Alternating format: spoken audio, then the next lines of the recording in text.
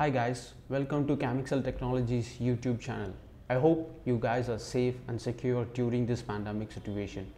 In this video, we'll be seeing about ATEM Mini Pro.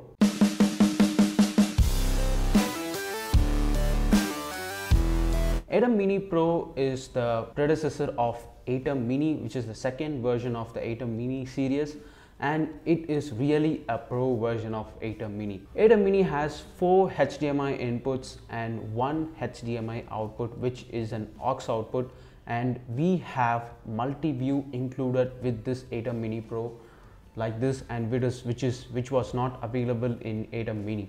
So this HDMI output is versatile like you can use it as an aux output. Whether you want a multi-view output you can use a multi-view or if you want to change between the PGM you can change between the multi-view and PGM it is smooth and it is awesome to have a multi-view as well as PGM you can select. Now do you need an external recorder with ATEM Mini Pro? No you don't need an external recorder with ATEM Mini Pro.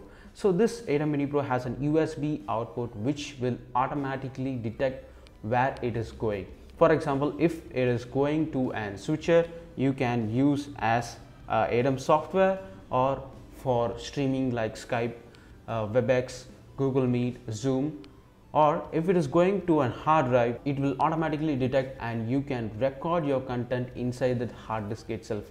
That is crazy. That means you don't need an external recorder itself. You can record in a hard drive. So I have a hard drive here which is an SSD. You can record in an SSD or you can even record in a thumb drive or even in an HDD. So that is really great. And the next is ATEM Control Ethernet port.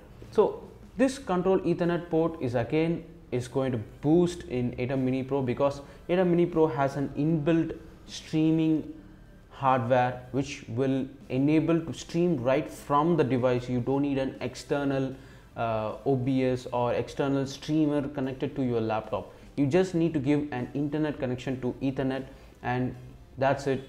Using software control you can directly stream to youtube facebook twitch as a basic. And if you want to do an rtmp streaming that is also possible. So that's pretty great. And you have two microphone inputs which is 3.5 mm jack and that is easy. You can connect your microphone directly to your ATEM Mini and you can on and off anytime you want. And all the four inputs carry audio and you can see there are four buttons over here which you can switch between the sources.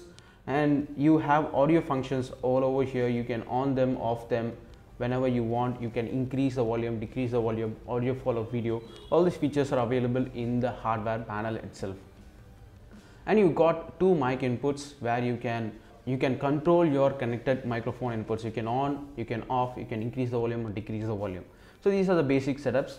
And you have the basic picture in picture which was available in our ATEM mini. And we have this palette as a new one.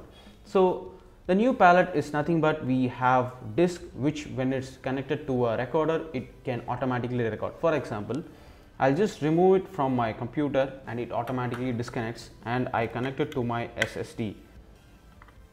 So my SSD is detected here and you can see the green light in the you can see the green light in the switch here and I, when I hit record button it automatically starts recording. Records in H.264 and has it and ATEM has three different bit rates for you high medium and low. And you can directly stream from ATEM when an internet is connected to uh, the ethernet port and that is quite easy. You can directly stream. And at the bottom you have the video output which is called an aux output whether you can choose whether it is pgm or uh, multi-view or you can choose specific outputs like one or two or three or four which we have not connected. So you can choose all the four sources and you can choose your multi-view and program you can connect it to an external SSD dock and you can start recording seamlessly. And you can stop the recording whenever you want.